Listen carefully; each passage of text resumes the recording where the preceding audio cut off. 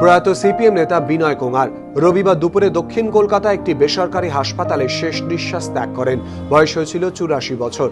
পরিবারের তরফে জানানো হয়েছে, বাইশে আগস্ট বাড়িতে পড়ে গিয়ে তিনি চোট পেয়েছিলেন।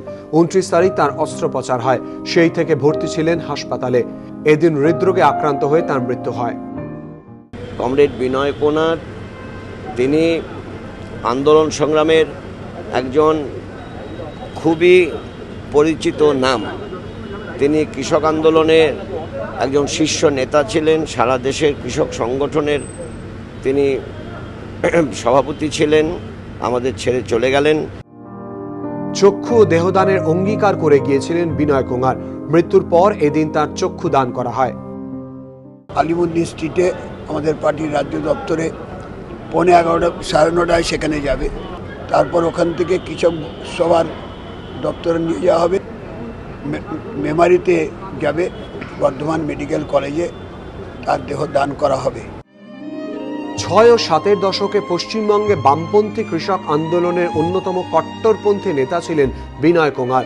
সিপিএম এর কৃষক সংগঠন, কৃষক সভার সর্বভারতীয় সভাপতি এবং রাজ্য কৃষক সভার সম্পাদকের দায়িত্ব দীর্ঘদিন ধরে সামলেছেন তিনি। একসময় সিপিএম দুর্গ বর্ধমানে দলের অন্যতম মুখ ছিলেন বিনয় কুমার। মেমারি থেকে তিনবার বিধায়ক হন। সিপিএম এর রাজ্য সম্পাদক মণ্ডলী ও কেন্দ্রীয় কমিটির সদস্য ছিলেন। শারীরিক অসুস্থতার কারণে কেন্দ্রীয় কমিটি থেকে সরে যান। কেন্দ্রীয় কমিটির আমন্ত্রিত সদস্য পদ তাকে দিয়েছিল দল। এদিনই দিল্লিতে শেষ নিঃশ্বাস ত্যাগ করেন প্রাক্তন সিপিএম সাংসদ তথা পিডিএস নেতা সৈফুদ্দিন চৌধুরী। দীর্ঘদিন ধরে ক্যান্সারের সঙ্গে লড়ছিলেন তিনি।